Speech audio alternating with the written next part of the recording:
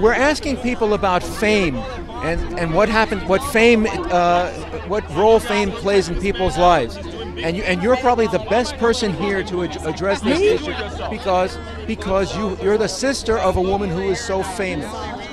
And so fame, people think, well, it's great for everybody, but it sets a standard that's almost unreachable. Um, I guess. I mean, you know, everybody has their level. I, my sister is iconic. She's a legend. You know, uh, and I think that's phenomenal. I myself, I'm not a, an icon, but I love doing what I do. You're a great singer. Yes, I'm a singer, I'm an actress, but what I'm doing these days with my own soul searching is I want to help heal the country. So everything I do is aimed at bringing the people together with their voices. I just released a new single. It's digital on uh, CD Baby and across the boards. It's a cover of Laura Nyro's Save the Country. Arrangement totally out of the box with a great video, a powerful video to go with it on YouTube. I'm proud of it. I wanted to get out there. I wanted to make a positive difference in this world. That's very nice. I, do you have any kind of relationship with Elliot Gould, Jason's father? Uh, of course, I love Elliot. I've always, it's always been so wonderful to me. From the days I, when I was a little kid, and he was asking me how many nephews and nieces I wanted, and I came up to barely his wa- the waist. And today, I mean, it's like he brought me with him onto Saturday Night Live and introduced me as my son Jason's Aunt Rosie.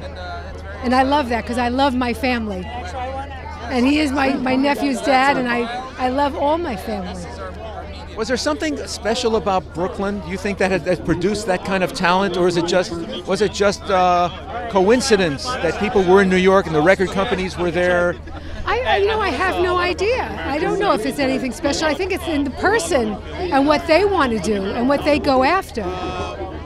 You know what I mean? Because at first I thought I was going to be a math teacher when I was in eighth grade, but I always spent so much time singing and alo- alone and performing in the mirror and creating ballets for myself from the music from Exodus and whatever.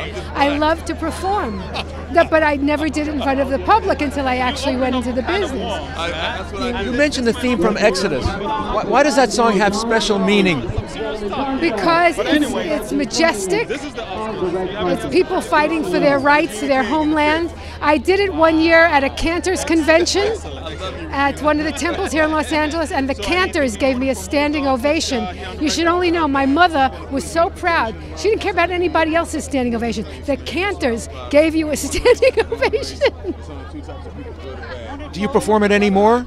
Uh, no, I haven't. That was a special event.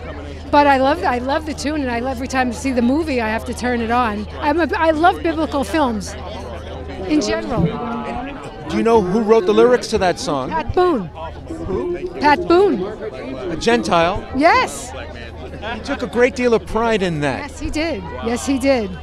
I think we all have to. I think we're all brothers. We're all sisters. We have the same blood. We come from the same light above, whether you want to call it God or the universe, whatever it is to you.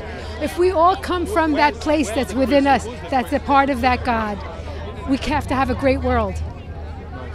Thank you so much. My pleasure.